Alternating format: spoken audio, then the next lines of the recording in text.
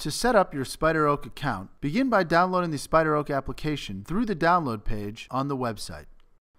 The installation process is compact and should not take more than a few moments.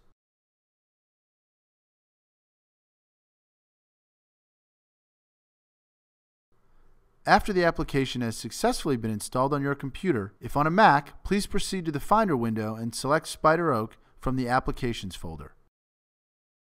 This will launch the setup process. On Windows, the setup dialog will automatically launch once installation of the software is complete. The first screen asks if you are a first-time user or an existing user add-in computer. As a first-time user, select that option and click on the Next button.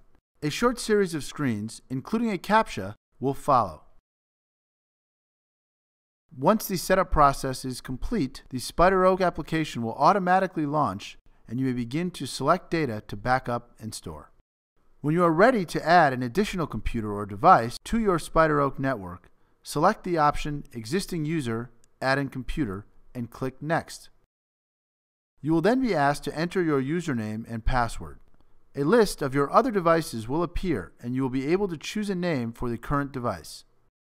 Once completed, you will have successfully added this additional device to your SpiderOak network and it will appear in the list of available devices within the SpiderOak application. You will also be able to view any of the data stored across your SpiderOak network on the View tab by clicking on the desired device and parsing through the folders.